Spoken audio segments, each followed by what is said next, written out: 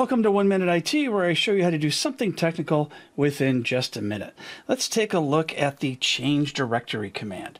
That is going to be cd. So if we do cd, for instance, and we type in Windows, it will change the directory to C colon backslash Windows, assuming that exists.